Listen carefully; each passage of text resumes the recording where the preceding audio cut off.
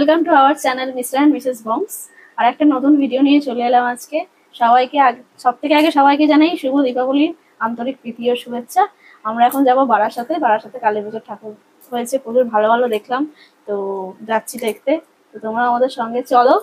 আর আমাদের ভিডিওটা ভালো লাগলে অবশ্যই লাইক করবে কমেন্ট করে জানাবে কেমন লাগছে আমাদের ভিডিও আর সাবস্ক্রাইব করবে আমাদের চ্যানেলটা আরও এরকম দারুণ দারুণ ভিডিও পাওয়ার জন্য।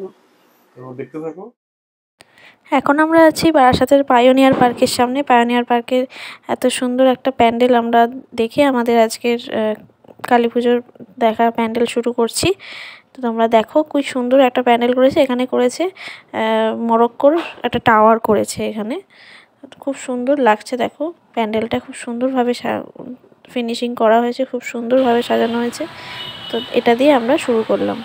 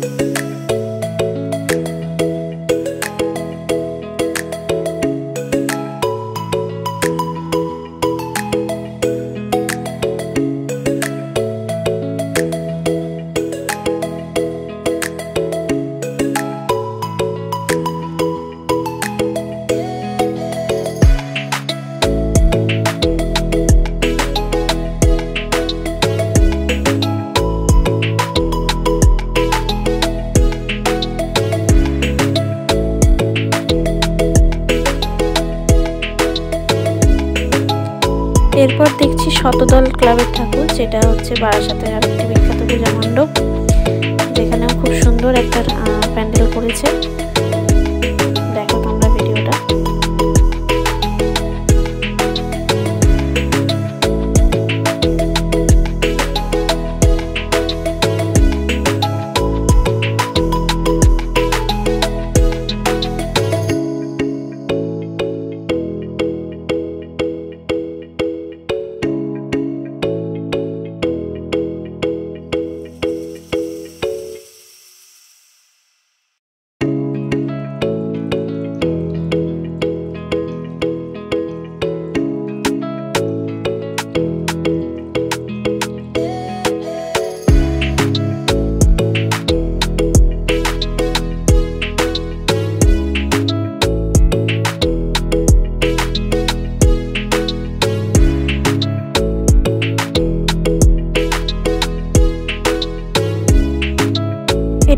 বারাসাতের নবপল্লী অ্যাসোসিয়েশনের ঠাকুর।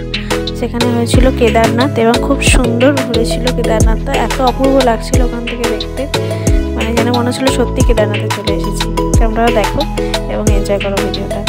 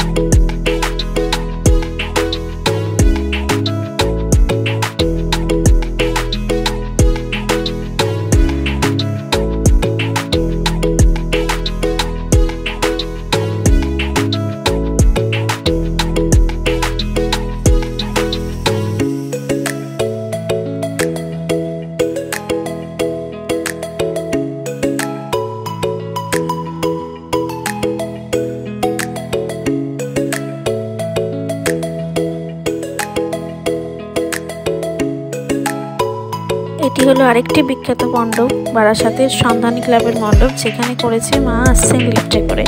কিন্তু যখন আমরা ওখানে পৌঁছেছিলাম, তখন ধীরে ধীরে বৃষ্টি পড়ার কারণে লিফটটা বন্ধ ছিল।